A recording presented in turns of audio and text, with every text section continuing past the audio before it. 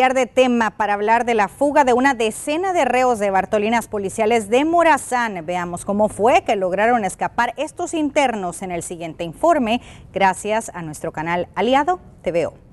Diez internos en las Bartolinas de la PNC en San Francisco Gotera aprovecharon las fiestas de fin de año para acabar un orificio en la pared de adobe de la parte trasera de la delegación, por donde salieron el pasado domingo en horas de la madrugada. De alguna manera tuvieron acceso a alguna sierra, cortaron los barrotes, que es donde está reforzada por la parte de adentro lo que es la Bartolina, y luego pues eh, imaginamos que con los mismos barrotes empezaron a escarbar. Acuérdense que estas paredes pues son ya muy, muy antiguas pues y son de adobe y el adobe pues es bastante vulnerable. Fue ayer domingo entre las 9 y 10 y media de la noche.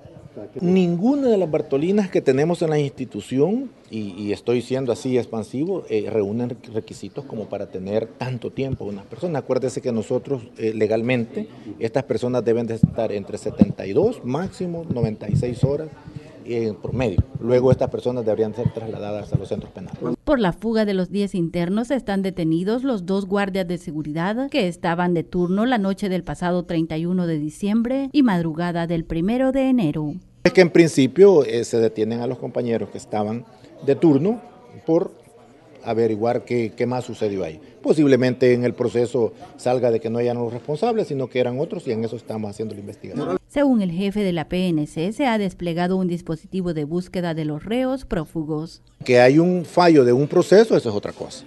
¿verdad? Y eso es lo que estamos afrontando nosotros ahorita, estamos realizando un operativo, estamos realizando investigaciones, hemos detenido a los compañeros que estaban de responsables y este, esto no tiene por qué desmoralizarnos a nosotros.